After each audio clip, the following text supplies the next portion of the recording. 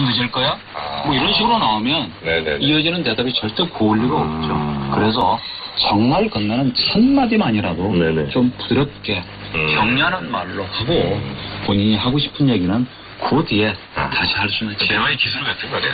부장님 남 남성으로서 그러면 첫 마디에 그 첫 소절 좀 잠깐 좋은 예 좀 하나 좀 아, 부탁드립니다. 남자가 하기에 좋은 거요? 아니요, 그러니까 만약에 남자가 들을 때 아, 여자가 남자 들을 때 좋은 말. 그렇죠. 예. 예. 여보 뭐 예를 들어서 오늘 당신 좋아하는 거 해놨는데 언제쯤 들어와라든지 그죠? 음. 뭐 예를 들면 너 당신 보고 싶은데 그죠? 그건 그때 부부다마다 상황이 다 달라지는 거죠. 그러니까 정말 속에서 이렇게 차오르는 얘기를 그냥 내뱉듯이 폭발시키질 말고 그죠? 아니면 거꾸로 물어봐도 돼요. 정말 당신이 나한테 듣고 싶은 얘기 음. 내가 듣고 싶은 얘기도 남편한테 가르치고 싶은 거예요. 네, 알겠습니다. 아, 또 대화의 기술까지 저희가 끝에 또 정리를 해봤는데 이 사연을 통해서 이 시대 한국인들의 고민 함께 나누는 시간입니다. 한국인 심리학 콘서트 괜찮아 괜찮아.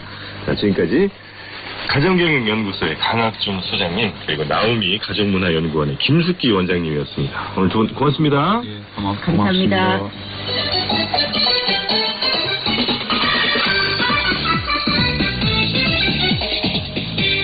네, 생생코리아 지금까지 진행의 정영진이었습니다. 아, 저는 내일 다시 찾아뵙죠. 함께해 주신 여러분 고맙습니다.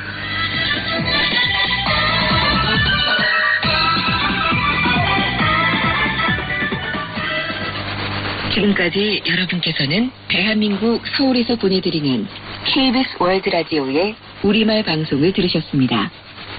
수신 보고나 편지를 보내주실 분은 우편번호 07235 대한민국 서울특별시 영등포구 여의공원로 13 KBS 월드 라디오 우리말 방송 담당자 또는 이메일 코리안 앱 kbs.co.kr로 보내주시기 바랍니다. 이 방송은 방송통신위원회 방송발전기금을 지원받아 제작한 것입니다. 그럼 해외에 계신 동포 여러분, 다음 방송 시간까지 안녕히 계십시오.